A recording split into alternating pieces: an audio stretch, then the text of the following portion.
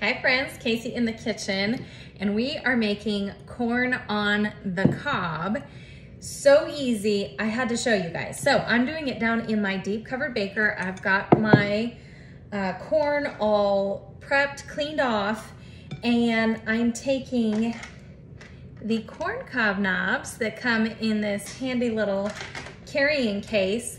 And did you know that with these, you can cook them, boil them in water, put them in the microwave. They are heat safe.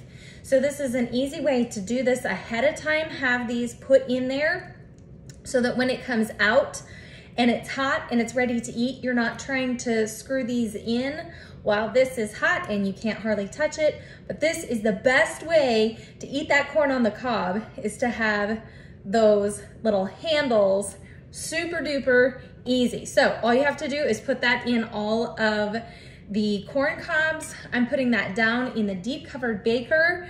I have like two tablespoons of water down in there. I'm gonna put the lid on and this is gonna go in the microwave for 10 minutes. It's gonna make the best corn on the cob. So fast, so easy. I don't have to boil water and try to pull them out. And also, they're not gonna be hot when I'm trying to put the corn cob knobs in there get you some of these.